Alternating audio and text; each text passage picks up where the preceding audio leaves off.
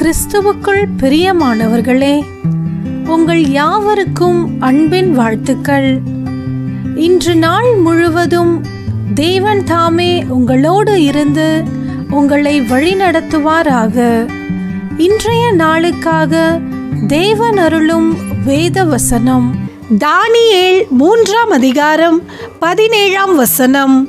நாங்கள் ஆராதிக்கிற எங்கள் தேவன் எங்களை தப்புவிக்க வல்லவராயிருக்கிறார் ஆமேன்.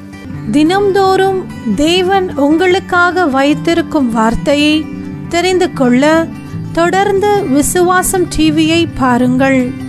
தேவன் தாமே உங்களை ஆசிர்வதிப்பாராக. ஆமேன்.